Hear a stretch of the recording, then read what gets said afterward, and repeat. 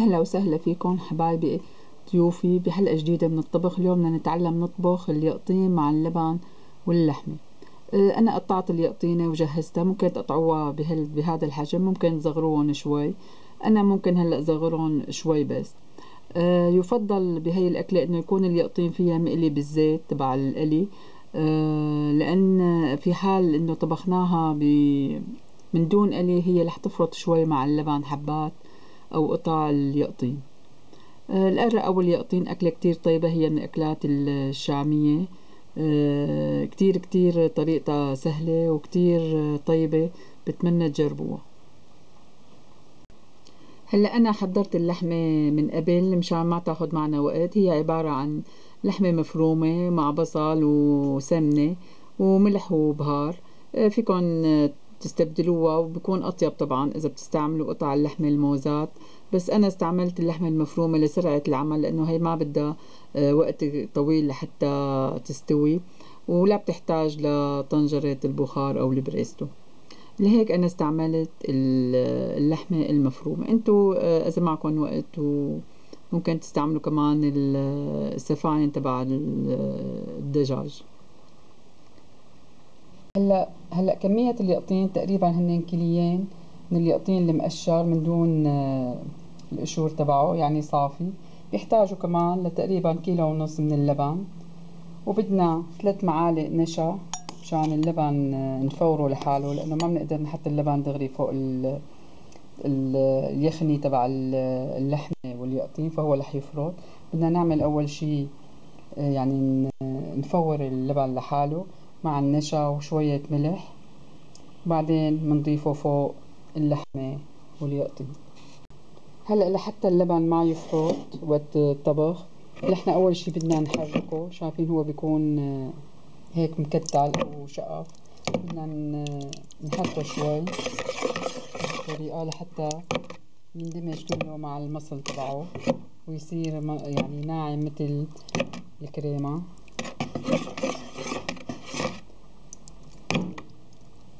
طبعا هو ممكن يكون فيه قشطة كمان ما بيأثر.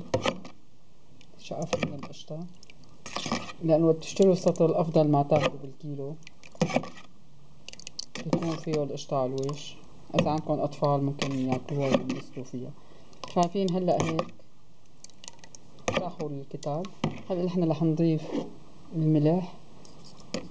تقريبا معلقة من الملح معلقة صغيرة. ونحركهم هلأ هيك. خلصنا من تحضير المرحلة الأولى من اللبن. هلأ المرحلة الثانية هي مرحلة تحضير النشا. طبعا النشا ما بنقدر نحن نضيفه دغري فوق اللبن. لازم أول شي ندوبه بالمي كمية قليلة بهالطريقة شوي شوي لحتى يصير تقريبا يعني هيك سميك مثل العجينة سميك شوي. بعدين بنضيف قد ما بدنا مي.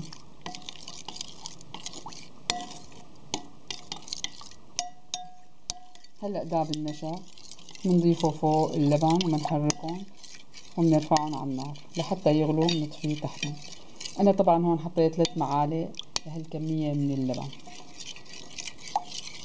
شايفين هيك بيطلع من دون يعني ما يكتل أو يعذبكم بهي هلا رح اضيفه فوق اللبن طبعا هذا الشغل كله على البارد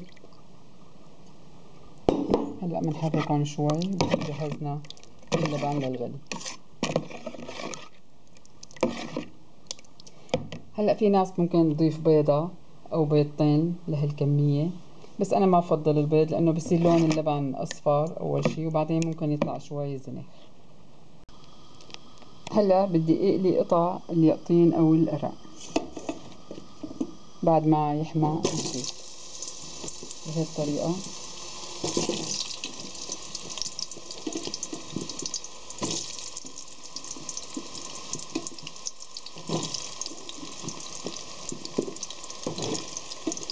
بنقليهم مثل ما بنقلي قطع البطاطا.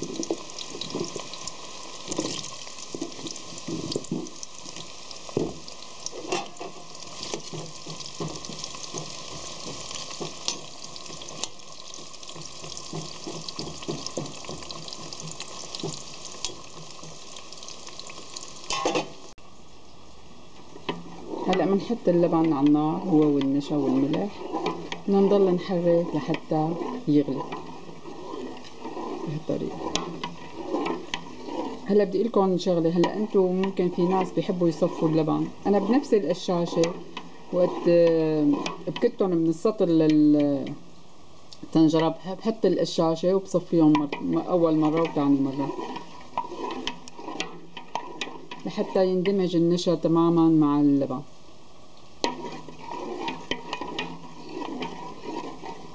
أو إذا بتحبوه بتصفوه بالمصفاية الموفى أو على نفس القشاشة مثل ما أنا عملت هلأ بلشت القطع تبع القرق أو اليقطين. تتحمر بصير بهاللون الذهبي الأشقر الحلو. هلأ ممكن نفس هاي الطريقة تطبخوها من دون ما تقلوا اليقطين. اللي آه، عامل ريجيم يلي ما بيقدر ياكل آه، زيت. بس يفضل واطيب إنه تكون مقلية. لأن آه، وقت نطبخ القطع هدول تبع اليقطين دغري مع اللحمة واللبن فهن رح يطروا كثير أما وقت بينقلوا بهالطريقة بيحافظوا على القوام تبعهم. الطيب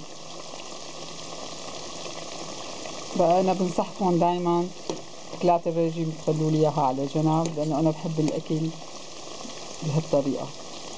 يعني يكون على الأصول.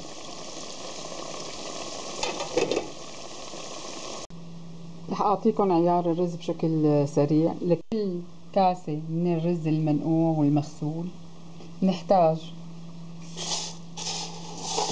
لكمشة يد مثل هي شعيرية ومعلقة كبيرة من السمنة هلأ أنا هون حاطة ثلاث كاسات رز يعني بدي ثلاث كمشات على مقبض اليد شعيرية وثلاث.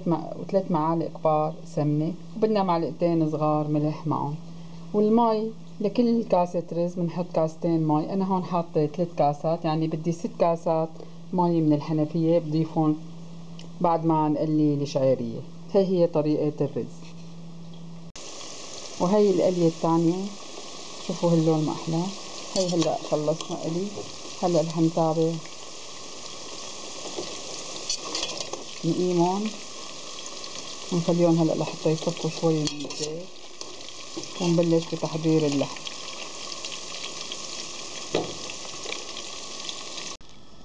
هلا بنحط اللحمة على النار طبعا أنا هي قاليتها بس بدي اضيف لها مي مشان أسلقها شوي. هلا بس تغلي شي خمس دقايق بنضيف بنضيف فوقها قطع اليقطين كمان بنخليهم يغلوا شي عشر دقايق وبعدين بنشوف شو بدنا نعمل. وهلا اللبن قرب يغلي. بنضل عم نحرك بهالطريقة. وأوعى تغطوا اللبن اللبن متى ما نحط على النار ما بيسوى يتغطى ابدا ابدا لأنه رح يفرط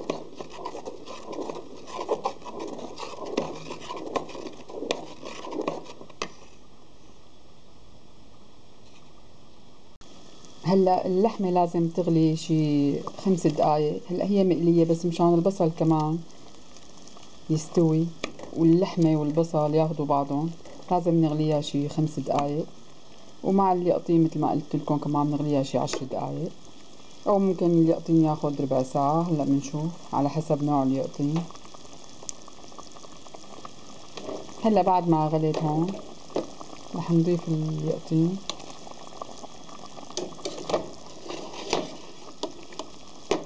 بنقيمه هيك بهالطريقة مشان يصفي الزيت اللي فيه. بعرفكم تقولوا لي حطوه بمصفاية بس ما في داعي ليكو هو الزيت لحاله بينزل. مشان ما تطلعوا كتير جلي بالآخر. تعملوه بهالطريقة وخلصنا.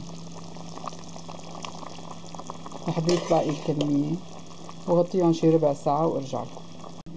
هلأ اللبن غلى واندمج منيح مع النشا. شوفوا هالمنظر. خلاص. هلأ لحقيمهم عن النار. وحط بدالهم الشعيرية لحتى تتقلى مشان سرعة العمل شوفوا هي كمية الزيت لحالها بتصفي شايفين هلأ بدنا نشوف اليقطين إذا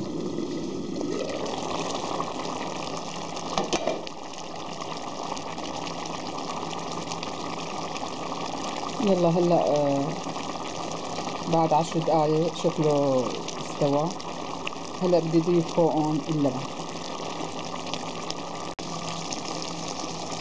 هلا رح اضيف اللبن.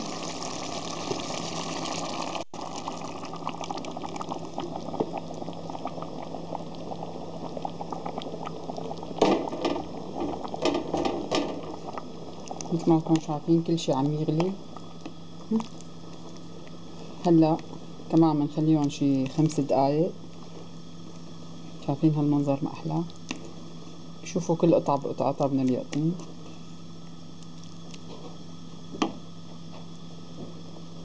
خليهم يغلوا.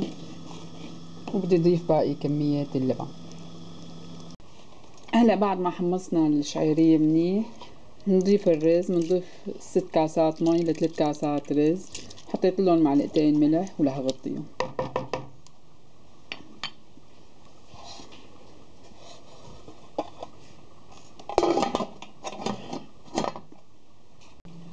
وهي الأكل صار جاهز وهي الرز. شوفوا المنظر الأحلى.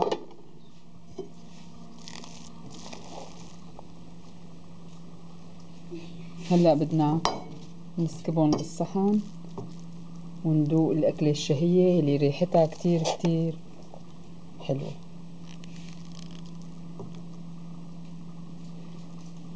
هلأ هذا الرز. يفضل الرز يضل مغطى. اللبن اوعى تغطوه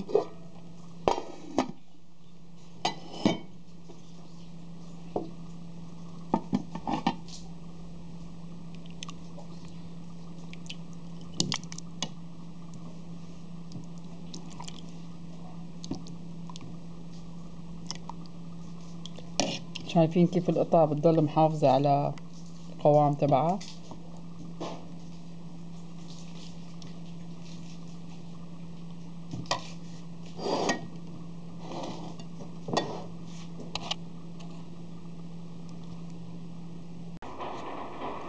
ممكن نضيف شوية آه، فلفل أسود فوق الرز بيعطي نكهة كتير طيبة. هلأ بدنا ندوق بقى. قديش آه، طيبة هالأكلة؟ مم كتير كتير طيبة. بتمنى تجربوها. هلأ بدنا ندوق قطعة اليقطين.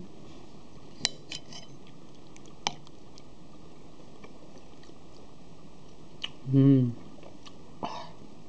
سخنة.